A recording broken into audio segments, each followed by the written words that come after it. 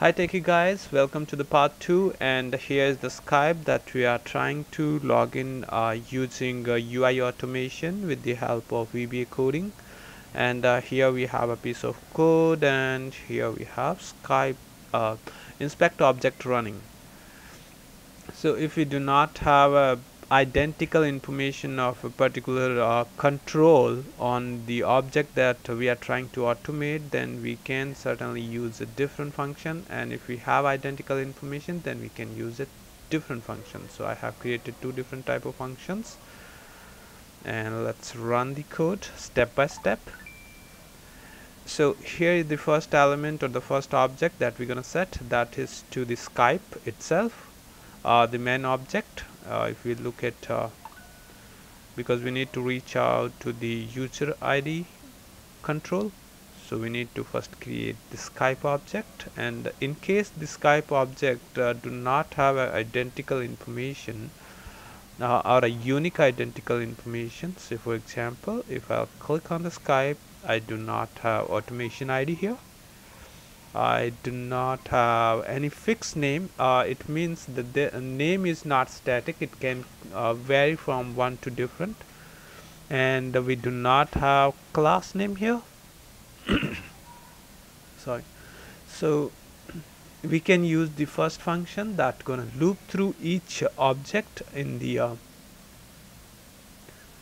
each, each object running on this particular machine uh, on the particular desktop and see the first one is flashing.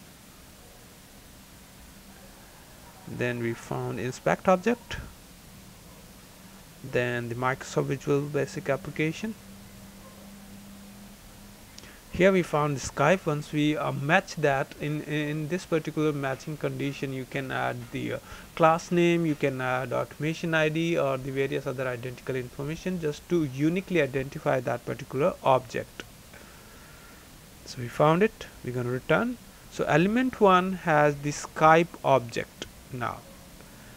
Then our next object is panel first panel and that first panel has identical information that is class name. So let's check it. So the first panel it has identical information as a class name unique class name then the second panel also has uh, automation ID and the class name but automation ID is numeric. On the numeric automation IDs we cannot uh, rely because that is not static that keep changing.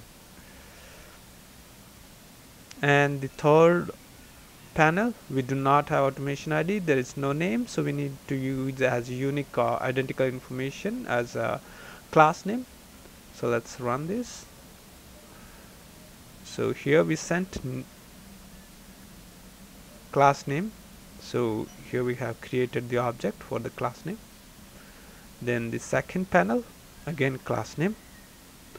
Third panel we are passing the value as a class. So here we set as class name again.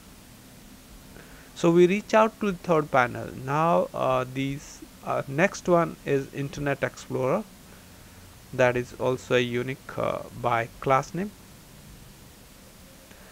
And the next element is uh, if you see here this particular element the panel and it has framework ID and the name. So name is unique.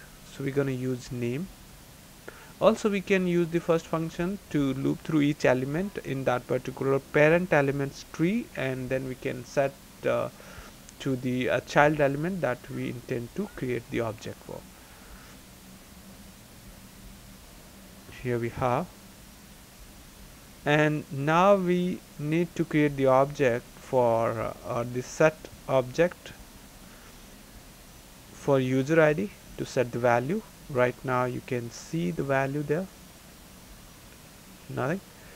So we have identical information that is automation ID and uh, we use the automation ID because it's not static. Uh, it's uh, oh sorry. It's not numeric so it is static.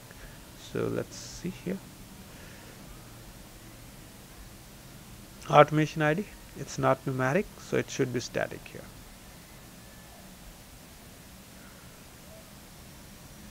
you set the value for this control and the same way to the password. And now we need to click to this button.